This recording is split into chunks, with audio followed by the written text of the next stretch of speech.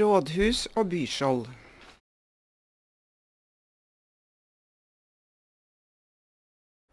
Rådhuset har vært på samme sted i århundrer.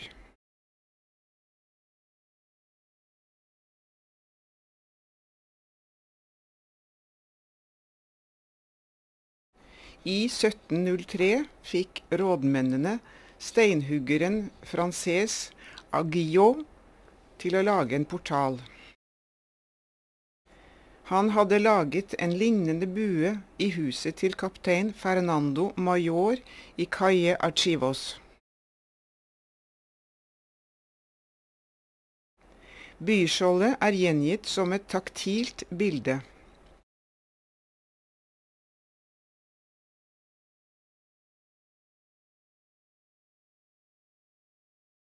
Det viser Santa Marta som styrer en drage ved hjelp av et belte og vievann.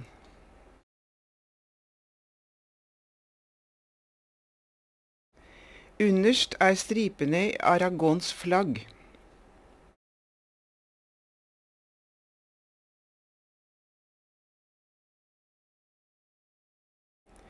Øverst er kongekronen.